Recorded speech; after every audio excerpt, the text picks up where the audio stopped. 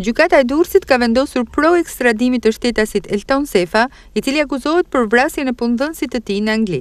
Ngjarja ka ndodhur rreth një vit më parë. Avokati i ka kërkuar gjykatës ekspertim të gjendjes mendore të njëzet e tre vjeçarit, por trupi gjykues nuk e pranoi këtë kërkesë. Përfaqësuesi ligjor i të pandehurit e cilësoi seancën gjyqësore një farsë.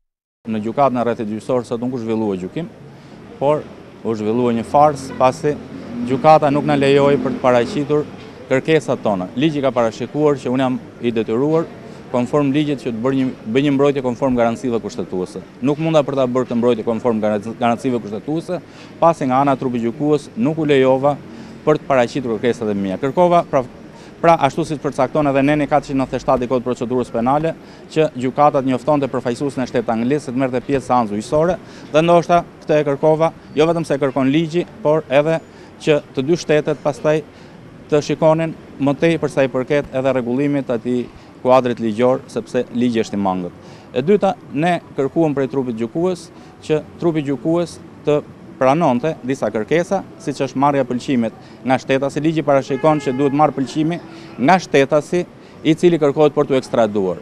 Mirëpo, një shtetas i cili rezulton që të jetë i papërgjegjshëm, një shtetas që rezulton të jetë i smur psiqik, a mundet domethënë që të quhet një shtetas i cili mundet të japë pëlqimin e tij? Ndërsa për familjarët drejtësia mungon. Dhe më tepër se ka fol avokati nuk kemi se ne nuk kështu, po jemi familje të sëmunë.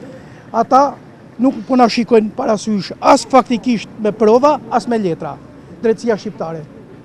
Ma mirë kërkoj të na vrasin të katërve nga shteti shqiptar. Jam i papërgjegjshëm të na vrasin të katërve.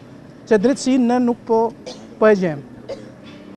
Rezulton se njëzet e tre vjeçari pasi është kthyer nga Anglia i papërgjegjshëm mendërisht është shtruar në spitalin psikiatrik në Tiranë prej njëzet e gjashtë korrikut deri më trembëdhjetë gusht të dy mijë e tetëmbëdhjetës, por këto dokumente nuk janë marrë parasysh as nga prokuroria dhe as nga gjykata.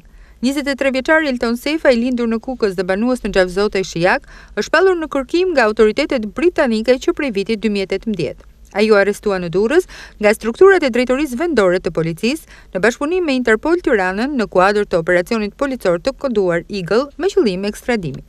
Prokuroria e Përgjithshme dhe Ministria e Drejtësisë po kryejnë të gjitha procedurat për ekstradimin e tij drejt Mbretërisë së Bashkuar. Ky është rezultati i parë i marrëveshjes dypalëshe ndërmjet Republikës së Shqipërisë dhe Mbretërisë së Bashkuar dhe Irlandës së Veriut, ratifikuar sipas ligjit që plotëson Konventën Europiane të Ekstradimit të vitit një mijë e nëntëqind e pesëdhjetë e shtatë. Në bazë të kësaj marrëveshjeje, njëzet e tre vjeçari Elton Sefa do të jetë shtetasi i parë shqiptar që arrestohet në vendin tonë me qëllim ekstradimi drejt Mbretërisë së Bashkuar. Seanca gjyqësore është zhvilluar paraditen e kësaj të mërkure.